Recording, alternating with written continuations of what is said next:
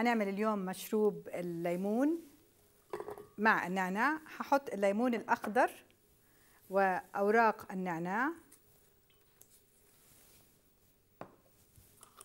السكر.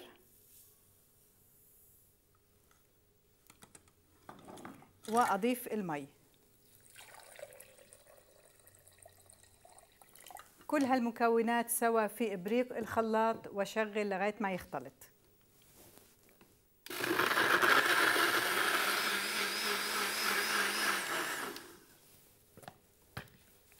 الليمون أصبح عندي جاهز. طبعا بصبه على كمية كبيرة من الثلج